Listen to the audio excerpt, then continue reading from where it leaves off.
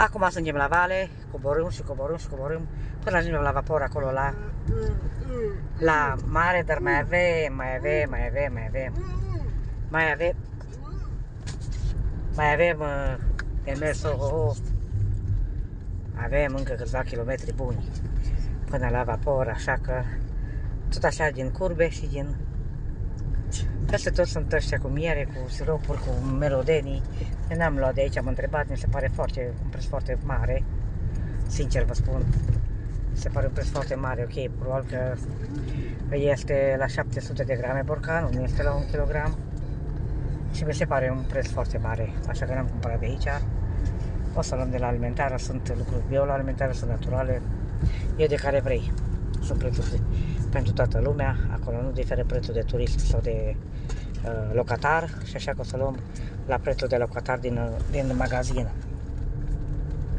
Deja se simte mirosul de mare, deja se simte mirosul de, nu știu, aerul e altfel, simți că te duci către mare, pur și simplu. Mm, deja se simte.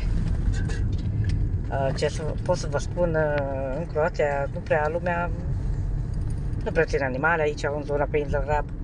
E mare, e apa sărată, aburi de când e ceață, sunt sărați.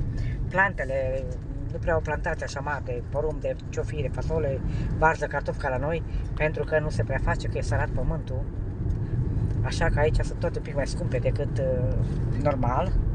Suntem totuși pe o insulă, dar este ok, este ok. Așa că merită frumusețele de aici, merită să vii să le vezi și marea e foarte faină, iar nisipul este așa ca acolo pe nisipul de aur, insulele de aur. Doamne ajută, cum vă spun de fiecare dată, nu uitați să apăsați butonul de distribuire, butonul de abonare și un comentariu. Doamne ajută, ceau, ceau!